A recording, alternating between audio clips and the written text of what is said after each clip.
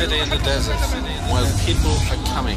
Anywhere else in the world, it takes 20 years to set up a functioning community. We did it in months. It is now coming to real life.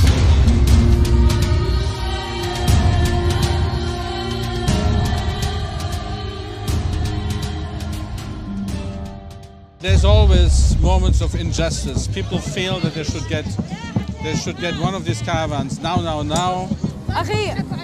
أخي اخي اختي انا مش قاعد دير بالك دير بالك Can you ask her if she has been vaccinated?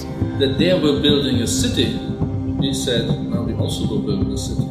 Their vision and our vision. will do an operation to take off uh, Addis. Ten months ago, there was nothing. There was only dust. And since then, we have seen a city rising from the dust with all its features, with all its problems. And that's where we're trying now with the people to change that, to make it to something more livable, have better space, better hygiene, and better management and better relationships. Again, all about relationships. Hello. Hello. Very good. Thank you. How are you? I'm fine. How are you? Very good. It's okay. I did not meet you yet, I think. So No. the, first.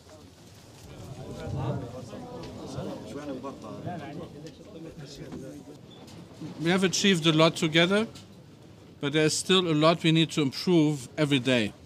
And, and you were the first ones to show me that it is possible to work together on one project. So is this shrapnel? Shrapnel. Uh, we we are trying to catch it Yes. because it is moving it. It's move and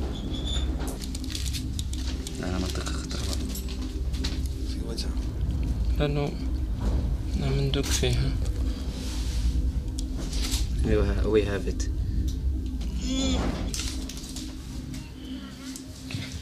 This. This is the shrapnel from a pump. This is his daughter, Neda. I thank us for do this uh, job, and uh, he, she is very happy to see his father, and uh, say thank God, thank for God. شو اسمي يعني؟ دكتور. ها؟ يقولوا شكرا يا دكتور.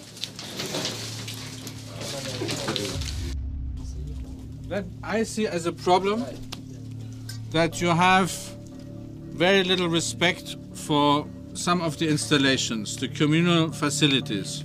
They're being damaged, people steal what is in there, and so on.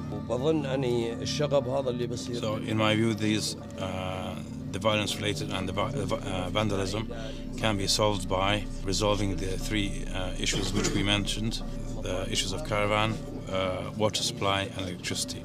If these three issues are uh, solved, uh, there will be no need for uh, police or extraordinary security measures. Of course, we, we are, as you know, for me, uh, the issues of water and having a good water supply is a priority. Finding a way forward on the electricity, and thirdly, to finish the caravan distribution. So these are three projects we're working on. Okay, gentlemen, thank you for receiving us. Nice to meet you. Nice to meet you. Thank you. Thank you. شكرا I understand. هلا You know me. هلا حياك الله تعرفوا بيفهم. Okay. Thank you.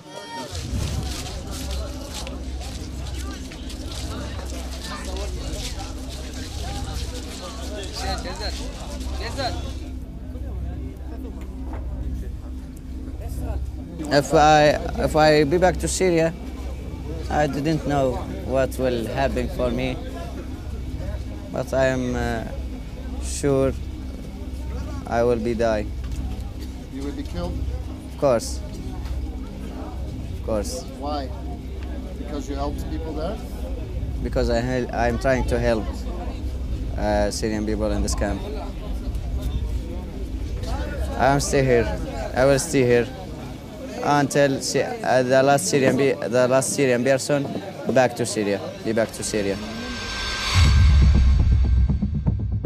So what we're is, is um, many more refugees coming across uh, wounded, injured, traumatised. It's a very special day today because it's, um, it's World Refugee Day. The registration, if he had received the caravan or not. Tonight we expected 900, but we have had up to 3,000, 4,000 people in one night coming in. Where on earth you have seen children of this age stealing a police station?